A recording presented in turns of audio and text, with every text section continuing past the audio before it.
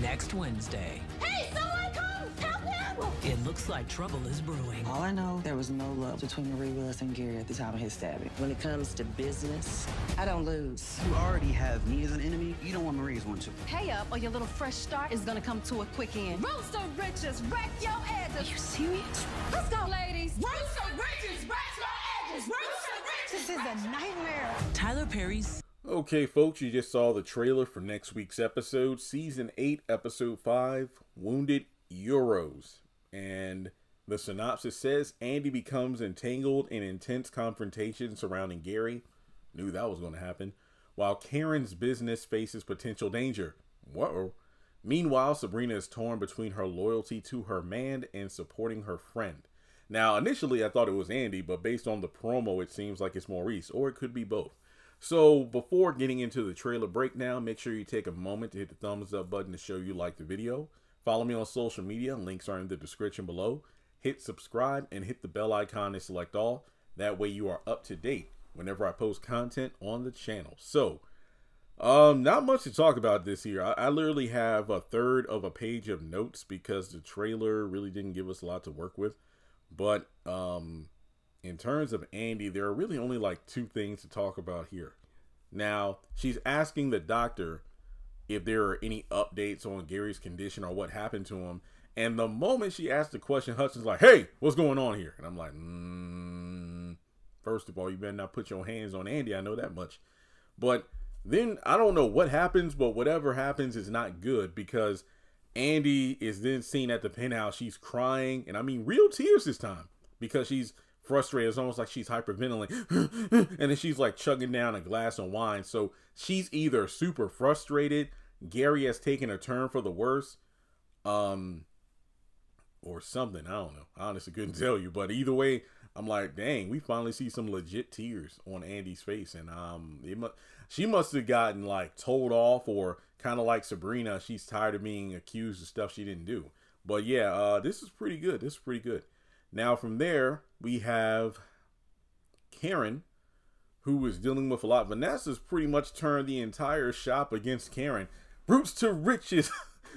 Wrecks your edges. So there's like a whole mob. And basically she's like, look, you're either going to pay up that $400,000 she wants, or your little fresh start is going to come to a quick end. Like, you know, just pay, you're going to pay what you owe, or I'm going to take you for everything you got. And I mean, this is awful. This is like, man, it's bad enough she's already in the red, but um, some people are theorizing do you think the stress of this lawsuit could cause a premature labor? Possibly.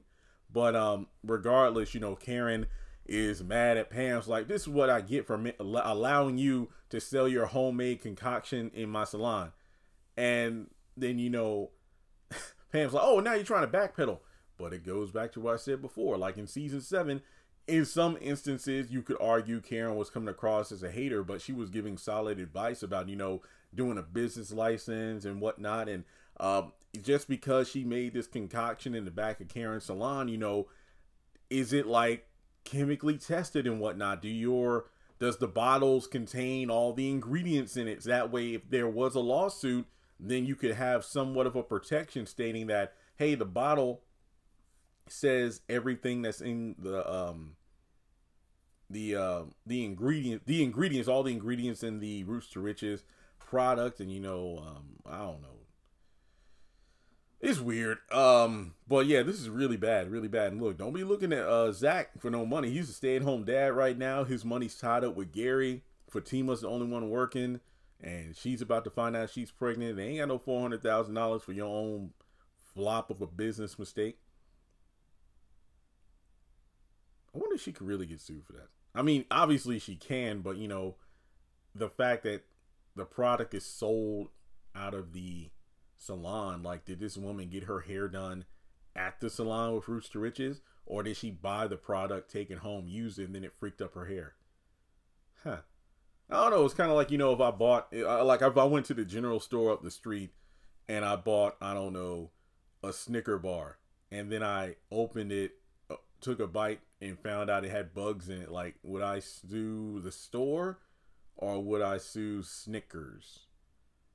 it would probably be the store because if it's an expired candy bar, then I don't know. It's just a whole bunch of complications with that. But either way, Karen's in trouble. But honestly, I wish they didn't have to deal with this storyline. I would have been more interested if Karen and Pam, most of their storyline taking place this season, had to do with them becoming business partners and um, getting that investment for Marie and then expanding roots to riches and whatnot. That would have been great, but we got to have the drama, folks. And in terms of the rest of the trailer, there's only one thing to talk about. That's the return of Marie Willis. Uh, wow. So, oh, actually, no, I missed a part. We got to talk Maurice. Um, so Maurice is looking over, you know, something at the counters at the bank. And it's like he's frustrated over the new pins. And then Paige comes down the stairs like, hey, hey, what do you think you're doing?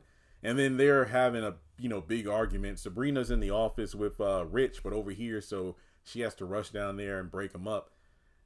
So, I mean, in terms of her loyalty to her man and supporting her friend, I mean, maybe it is Andi rather than Maurice because I'm just wondering what's going on here. But yeah. So then we go over to Marie. She returns to Hayden's office, like, did you miss me? And then she's like, um, when it comes to business, I don't I don't lose. So I guess because Hayden is taking over Andi's caseload, that also includes Marie. Uh, I mean, well, the only reason she's there is if she has another um, lawsuit that needs work, considering the fact that, well, Andi closed the divorce case. So there's that. But hey, I love the actress. Uh, she did a great job last season as Marie Willis. So it was good to see her back. Now, we go over to Hayden and talk to Fatima like, look, you already have me as an enemy. You don't want Marie as one too. So maybe Fatima's, you know, still on the fence about working for Hayden, but when Hayden makes the point that Miss Marie don't play around, so whatever you have against me, you better make sure you set it to the side so we can take care of Marie. And then we go over to Fatima talking with Zac. Is like, hmm, I don't know because Marie, there was no love lost between her and Gary before the stabbing. So, oh yeah, that also brings up the question, which I highly doubt: Did Andi ask or tell anybody that Marie said she would handle the Gary situation. No, I highly doubt it. But as dragged out as it is, I did mention this in a lot in another video that to some extent I do like the fact that these characters keep popping up. Robin, Marie, and Tamara. And it's like, hmm, I don't know. Could they have been the one who did the stabbing because this person had a reason to, that person had a reason to. So I feel like we're going to go down the entire list of suspects I had before we finally find out who actually did it. So, with that being said, that's really all I have for this particular uh, trailer. Let me know if you're excited about it in the comment section below. As I mentioned before, I'd really appreciate it if you took a moment to hit like and subscribe, and I'll catch you in the next video.